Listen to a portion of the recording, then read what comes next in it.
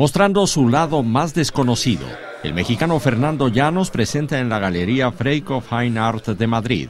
Llanos, villano del video. Una síntesis que recorre sus trabajos de diferentes épocas y diversos formatos, con los elementos de denuncia que lo caracterizan. Fernando es uno de los artistas eh, contemporáneos más importantes mexicanos. Trabaja lenguajes eh, muy modernos, como son el, los lenguajes de, de, este, de, este, nuevo siglo, del siglo XXI, partiendo de una, de una investigación histórica o sociológica. Hay proyectos desde el 95 hasta cosas que terminé la semana pasada aquí en Madrid. Son de esos dos mundos que chocan, estas ideas que se complementan, estas ideas eh, que tienen que convivir también en un aquí y ahora.